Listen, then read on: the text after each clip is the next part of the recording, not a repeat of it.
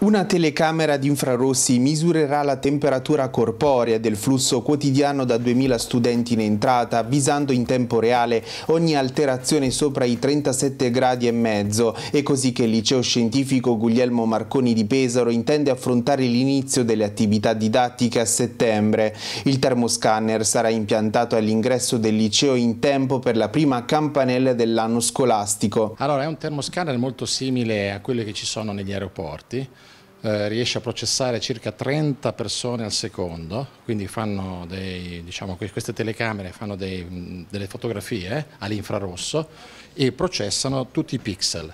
Quando un pixel eh, rappresenta un corpo con una temperatura superiore a 37 gradi e mezzo, suona un allarme, a quel punto c'è un eh, collaboratore scolastico che ferma il ragazzo, gli fa una ulteriore eh, diciamo così, verifica della temperatura attraverso un termometro normale e a quel punto se effettivamente è febbricitante eh, sta un attimo in isolamento nella nostra aula adibita e verrà chiamata se minorenne la, la famiglia. Il presidente nazionale dei presidi, Antonello Giannelli, esprime la propria contrarietà all'utilizzo di questi apparecchi elettronici per evitare assembramenti riconducibili alla misurazione, mentre il presidente Amp Marche, nonché preside del Marconi, è sempre più convinto che l'utilizzo di questo strumento servirà a prevenire e controllare il flusso di 1950 studenti dell'istituto da lui diretto, garantendo un valore oggettivo ad uno dei pochi sintomi misurabili. Noi facciamo dei corridoi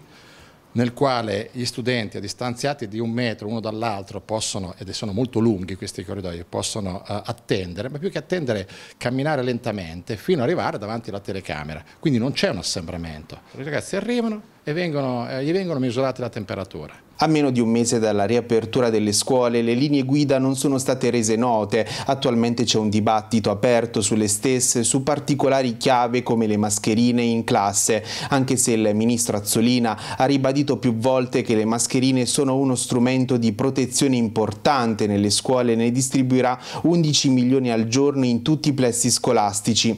Intanto le scuole iniziano a mobilitarsi per la ripartenza adottando al massimo tutte le precauzioni possibili. Altro nodo da risolvere prima dell'inizio è quello che riguarda la riorganizzazione del trasporto scolastico in funzione anti-Covid, garantendo agli studenti di viaggiare in sicurezza senza gravare sulla capienza limitata dei mezzi. Sul tavolo dei dirigenti scolastici al momento sono due le proposte, la possibilità di stop alla didattica un giorno a settimana turnazione per ogni istituto oppure l'ipotesi di rientro pomeridiano o prolungamento dell'orario scolastico per evitare da scuola a scuola scuola la didattica a distanza. Lì c'è una forte criticità, la Regione ha deliberato sostanzialmente un obbligo di capienza per i pullman del 60%, questo vuol dire che almeno il 40% degli studenti non sarà trasportato.